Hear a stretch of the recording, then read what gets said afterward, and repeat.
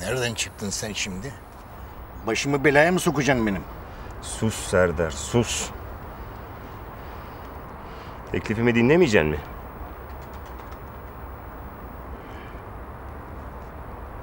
Sahte kimlikle pasaporta ihtiyacım var.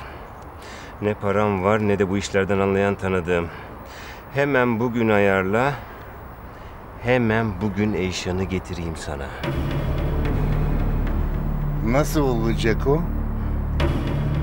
Kim yaptı, nasıl yaptı, nerede, nasıl bulursun? Hepsini, hepsini biliyorum. Eyşan'ı tanıyorsam eğer neyin peşinde olduğunu biliyorum. Eyşan'ın sana koşa koşa gelmesini sağlayacak her şeyi bir ben biliyorum Serdar. Anlat. Önce anlaşalım. Getireceğim mi kağıtları? Cengiz. Ne zaman adam olacaksın ulan sen? Şimdi bir seslensem en az 50 kişi toplanır buraya. Herkes gazetede resmini gördü. Kaçak resmini. He? Çaktın mı? Önce isim, sonra kağıtlar. Kenan Birkan.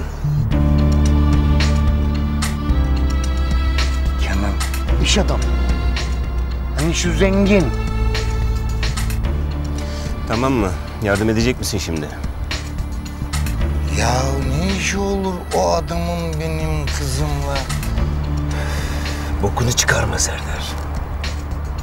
Senin kızınla bir işi yok. Ezel'le Ramiz'le işi var.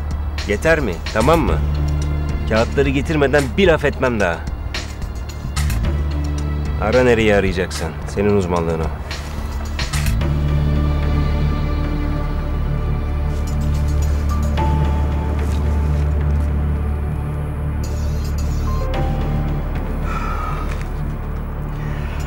Eyşan.